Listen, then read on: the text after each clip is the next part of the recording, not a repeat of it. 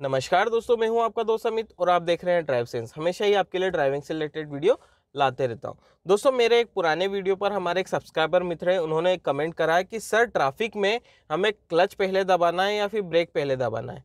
या फिर दोनों हमें साथ में दबाना है? या फिर मैं सिर्फ़ क्लच को दबा करके कंट्रोल करूँ? सब लोगों के साथ ये प्रॉब्लम आती है। शुरुआती दिनों में जब भी वो ट्रैफ़िक में चलते हैं तो उन्हें क्लच को लेकर के बड़ा सारा कन्फ्यूज़न होता है। तो आज का वीडियो में सब कुछ मैं क्लियर करने वाला हूँ, छोटा सा वीडियो होने वाला है तो इस वीडियो को पूरा देखिए। तो दोस्तों, सबसे पहले हमको ये चीज़ समझना पड़ेगी कि ट्रैफ़िक किस तरह का है। दो तरह के ट्रैफ़िक होते हैं यूजुअली जैसे कि एक ट्रैफ़िक होता है जिसमें आपकी गाड़ी रोलिंग में ही रहती है, आपकी गाड़ी रुकती नहीं है। और एक दूसरी कंडीशन होती है जिसमें गाड़ी को बार बार रोकना पड़ता है। जैसे ऐसा ट्रैफ़िक के जो पाँच फीट आगे बढ़ा, दो फीट आगे बढ़ा, फिर रुका, फिर दो तीन फीट आगे आगे बढ़ा, फिर रुका। तो हम सबसे पहले पहली कंडीशन समझते हैं जिसमें आपकी गाड़ी कंटिन्यूसली कम स्पीड पर चल रही है, ठीक है?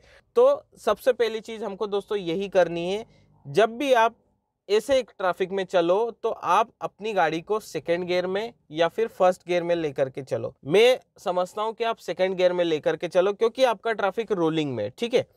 स्पीड मेंटेन करने के लिए आप हल्का सा ब्रेक बीच बीच में प्रेस करते रहो, ताकि आपकी गाड़ी की स्पीड सेकेंड गियर के टॉप स्पीड में ना आए, ठीक है? क्योंकि अगर आपका जो ट्रैफ़िक है मान लीजिए 10 किलोमीटर पर आवर की स्पीड पे चल रहा है और आप सेकेंड गियर में चलते हो तो वो 20 की स्पीड पे चल सकता है या फिर 15 किलोमीटर पर आवर की स्पीड पे आपकी गाड़ी चल सकती है।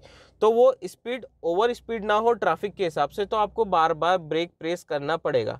ठीक है, यहाँ पे आपको क्लच का ध्यान नहीं देना। क्लच कब दबाना है? जैसे मान लीजिए आपकी गाड़ी रोलिंग में चल रही है। सामने वाले ने ब्रेक लगाया तो उस कंडीशन में आपको क्लच दबा करके ब्रेक लगाना है।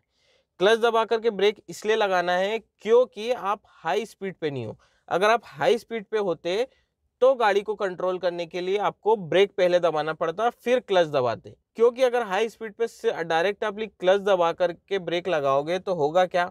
आपका इंजन ब्रेकिंग काम नहीं करेगा और जो ब्रेकिंग डिस्टेंस है आपकी गाड़ी की तो वो बढ़ जाती है, ठीक है? तो हाई स्पीड पे पहले ब्रेक दबेगा, फिर क्लच दबेगा। और लो स्पीड पे अगर आप ट्रैफ़िक में चल रहे हो तो पहले आप क्लच दबाओगे और उसके बाद ब्रेक दबाओगे, गाड़ी रोकने के लिए, ठीक है? तो ये होता है अपना रोलिंग वाले ट्रैफ़िक में किस तरह से आप गाड़ी को चलाओगे, आपका क्लच कंट्रोल और ब्रेक कंट्रोल कैसा होना चाहिए। अब बात करते हैं ऐसे ट्रैफ़िक की जो रुक रुक के चलता है, दो फीट चला, फिर रुका, फिर दो फीट चला, फिर रुका। ऐसे में क्या करना है दोस्तों?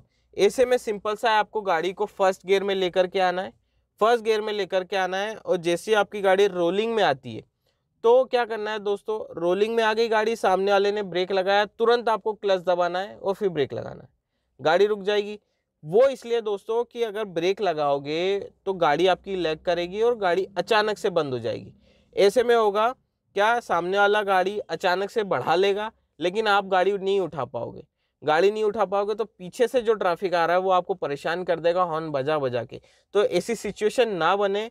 सिंपल सा है, आप फ़र्स्ट गियर में गाड़ी लगाओ और क्लच को धीरे धीरे रिलीज़ करो अपनी हैबिट के हिसाब से और गाड़ी जैसी रोलिंग में आती है और सामने वाले ने अगर ब्रेक लगा दिया, क्लच एकदम से दबा दो और ब्रेक लगा दो, गाड़ी रुक गई। उसी टाइम पे फिर आपको गाड़ी उठाना है तो सिंपल सा क्लच रिलीज़ कर लो, हल्का सा एक्सीटर दो, गाड़ी आपकी उठ जाएगी। एक्सीटर बहुत ही हल्का सा, ठीक है, बहुत ज़्यादा एक्सीटर नहीं देना है। तो दोस्तों, आई होप आपको ये चीज़ समझ में आई होगी कि ट्रैफ़िक में क्लच और ब्रेक का कॉम्बिनेशन कैसा इस्तेमाल किया जाता है। सिंपल सा फंडा, आप ये दो चीज़ याद रखो।